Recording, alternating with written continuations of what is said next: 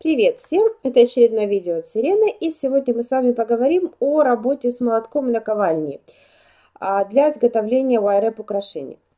У меня наковальня очень простая, на обычно она не похожа, а, очень примитивная такая конструкция. Она у меня осталась от э, прибора для установки блочек и кнопок на куртке. Но это не важно. Молотки я предпочитаю старые, поскольку они уже все полностью как бы отполированы и а, сглажены вот эти вот ребра. Новые молотки не очень люблю использовать. Подходят только металлические, никакие там силиконовые, не с покрытием а, бархатистым, новомодные не подойдут. Только гладкая металлическая поверхность молотка. Молоточек подбираем небольшой, огромный не нужен. Я всегда работаю на мягком полотенце. Возьмите старое ненужное полотенце и сверните его в несколько раз. Работайте на твердой устойчивой поверхности, которая не шатается, не болтается и так, чтобы вы не разрушили какую-то хлипкую табуретку или столик. Так, вот у меня э, коннектор приблизительно, который мне не жалко. Вот на нем я вам сейчас и продемонстрирую, а, как отбивать проволоку. Она у меня здесь сечением 0,75. Легче всего она отбивается, она тонкая, мягкая, соответственно. Вот. И теперь смотрите, какими движениями я отбиваю.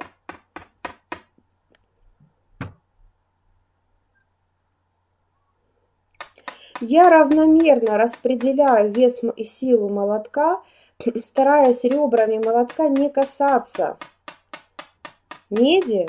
Для чего? Для того, чтобы не было границы видно, чтобы отбито было равномерно, чтобы не было зазубрин и переходов, чтобы вся отбитая поверхность была одной ширины. Видите как? По всей поверхности. Я не стучу постоянно в одном и том же месте, пока она не раздавится. Нам нужно проволоку раздавить, чтобы она стала плоской. Очень аккуратно это делаю. Детали развожу в стороны, прежде чем отбить края. Особенно часто молоток используется, чтобы а, оформить край изделия. Вот такой вот завиток. Если вы не пользуетесь газовой горелкой, то есть если у вас нет на конце вот бульбашки, вот шарика такого расплавленного, то тогда лучше воспользоваться молотком. Это будет аккуратно, красиво, лаконично, э, аккуратно законченная, законченный край проволоки. Сейчас у меня камера фокус наведет.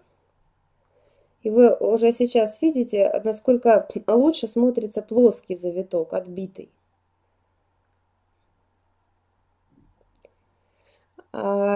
Всю проволоку по всей длине я отбиваю.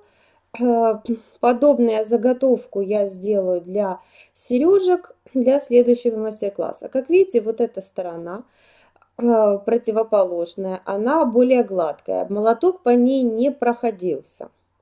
Но это еще зависит от гладкости вашей наковальни. Если она без зазубрин, более-менее, то всегда изнаночная часть будет более гладкая. Имейте это в виду, поэтому я всегда отбиваю изделие по а, изнаночной а, стороне. То есть лицевую кладу на наковальню, как бы лицом вниз.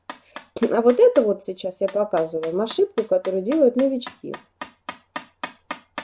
Я вам просто один раз покажу, как это выглядит, чтобы вы никогда такого не делали.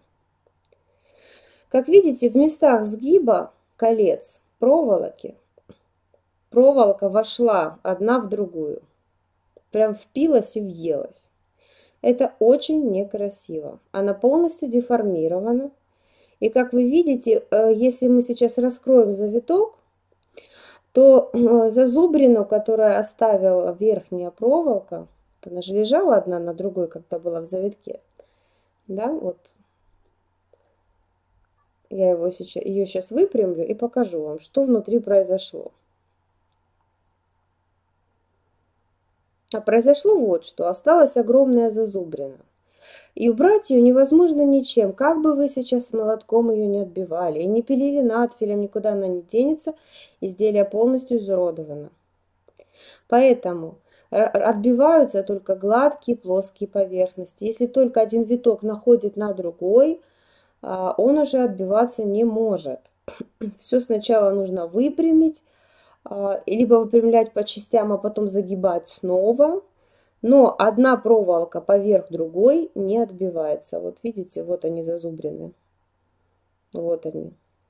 И ничего вы с ними не сделаете. Это самая популярная ошибка тех, кто отбивает изделие в первый раз. Вот не делайте такого.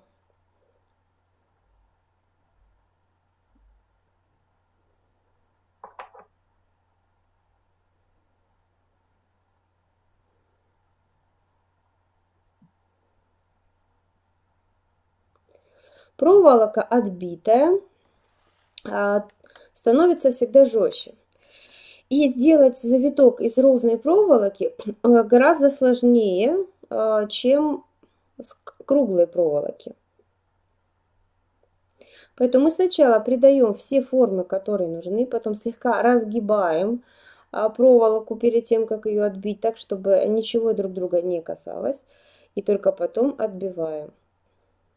Потом э, потихонечку сгибаем обратно, как было. Так всегда будет аккуратнее.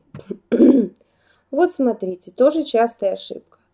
Отвернулись, засмотрелись на телевизор, и вот эти деталюшечки, так как при э, использовании молотка медь немножко меняет свое направление, проволока имею в виду, нашли друг на друга колечки, пока вы зазевались, ответили супругу или супруге, посмотрели на детей, на телевизор, на собачку, в окно – и случайно дважды ударили молотком.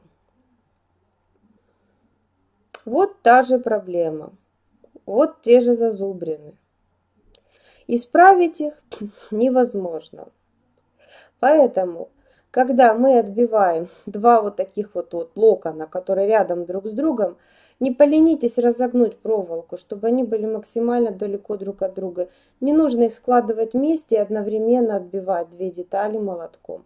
Каждый локон, каждый завиток – это отдельно взятая деталь, и отбивать ее лучше отдельно. Вот сейчас я вам попытаюсь показать, как вы будете исправлять то, что натворили. Вот как бы я вот сейчас не отбивала это все обратно, все равно останутся зазубрины, которым даже не поможет надфиль. Ну, ошибок, конечно, на первых порах не избежать, а равномерно отбитой проволоки у вас все равно не получится. Кое-где будут шероховатости, надеюсь, вы сможете исправить их надфилем. Но после нескольких попыток, после нескольких мучений, вы добьетесь равномерно отбитых деталей. А, тренируйтесь лучше сначала вот на таких вот сережечках, как равномерно отбить длинную проволоку. Ну, вот, вот такого вот примерно формата. Эта же деталь испорчена, использовать ее уже нельзя. Ну что ж, с вами была Сирена. В следующем уроке мы будем из вот такой отбитой детали делать разделитель, э, коннектор для сережек. Собственно говоря, сами сережки. Ну, а сейчас всем пока!